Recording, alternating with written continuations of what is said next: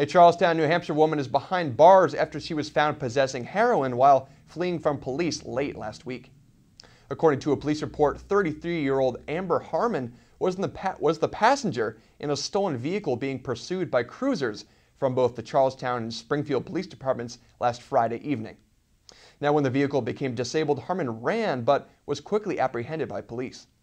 Officers found heroin on Harmon, who was already wanted on an outstanding warrant. She was promptly charged with possession of heroin and possession of stolen property. Now, Harmon, who has a lengthy criminal record, including multiple arrests, is currently being held at the Southern State Correctional Facility in Springfield, Vermont. She's there pending her arraignment in Windsor Criminal Court on November 11th. Now, no information was made available as to the driver of the stolen vehicle or the charges he or she will face at this time.